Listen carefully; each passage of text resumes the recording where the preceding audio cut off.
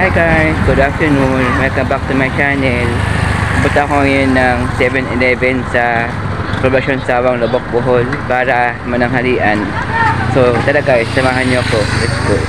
Papaya!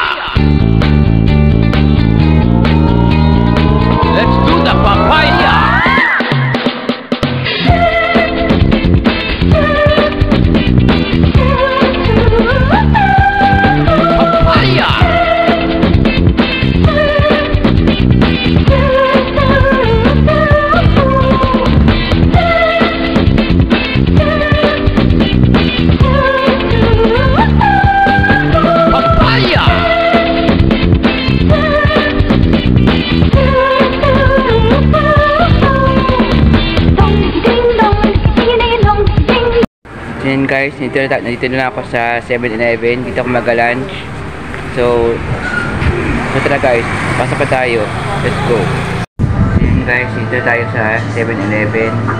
Nag-order ako ng giniling, beef giniling for only 41 pesos. So guys, pakita ko sa inyo. So yan yung order ko guys. Giniling sa 7-Eleven. Humingi din ako ng toyo mansi tsaka chili sauce.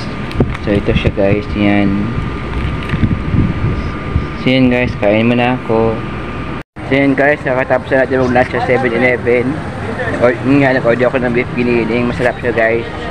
So yan guys. Kung gusto niyo yung video na na-feature natin ngayon please like share at subscribe click the bell icon. Para mag-update kayo sa mga videos na upload ko pa. Bye